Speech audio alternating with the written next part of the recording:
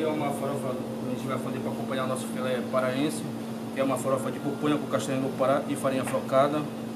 Vamos ter um, um arroz é, cremoso com queijo parmesão e creme de leite, acompanhado com o nosso filé paraense, ao molho de cupuaçu, entendeu? E champignon.